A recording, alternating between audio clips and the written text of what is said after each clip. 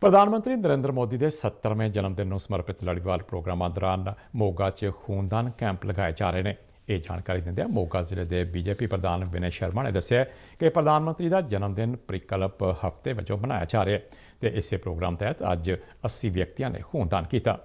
ਇਸ ਮੌਕੇ ਵਾਤਾਵਰਣ ਨੂੰ ਸਾਫ਼ ਤੇ ਸੁਥਰਾ ਰੱਖਣ ਲਈ ਜ਼ਿਲ੍ਹਾ ਸਿਖਲਾਈ ਸੰਸਥਾ ਡਾਇਟ ਦੇ ਪਾਰਕ ਵਿੱਚ ਪੌਦੇ ਲਗਾਏ ਗਏ ਤੇ ਸਫ਼ਾਈ ਅਭਿਆਨ ਚਲਾਇਆ ਗਿਆ। ਜਿਸ ਦੌਰਾਨ ਪਾਰਟੀ ਵਰਕਰਾਂ ਨੇ ਪਾਰਕ ਦੇ ਆਲੇ ਦੁਆਲੇ ਉੱਗੇ ਘਾਹ ਤੇ ਰਸਤਿਆਂ ਦੀ ਸਫ਼ਾਈ ਕੀਤੀ। ਵਰਕਰਾਂ ਨੇ ਕੁਸ਼ਟ ਆਸ਼ਰਮ ਵਿੱਚ ਜਾ ਕੇ ਉੱਥੇ ਰਹਿਣ ਵਾਲੇ ਵਸਨੀਕਾਂ ਨੂੰ ਫਲ ਤੇ ਹੋਰ ਜ਼ਰੂਰੀ ਚੀਜ਼ਾਂ ਵੰਡੀਆਂ। ਨਵੰਬਰ ਨੂੰ ਜਿਹੜਾ ਨਰਿੰਦਰ ਭਾਈ ਮੋਦੀ ਜੀ ਦਾ ਜਨਮ ਦਿਨ ਹੈ ਮਾਨਯ ਪ੍ਰਧਾਨ ਮੰਤਰੀ ਜੀ ਦਾ, ਉਸ ਸੰਬੰਧ ਦੇ ਵਿੱਚ 14 ਤੋਂ ਲੈ ਕੇ 20 ਤਰੀਕ ਤੱਕ ਜਿਹੜਾ ਸੇਵਾ ਸਪਤਾਹ ਮਨਾਇਆ ਗਿਆ ਜਿਸ ਵਿੱਚ ਵੱਖਰੀ ਵੱਖਰੀ ਸਮਾਜ ਸੇਵਾ ਦੇ ਕੰਮ ਕੀਤੇ ਗਏ ਆ ਉਹਦੇ ਵਿੱਚ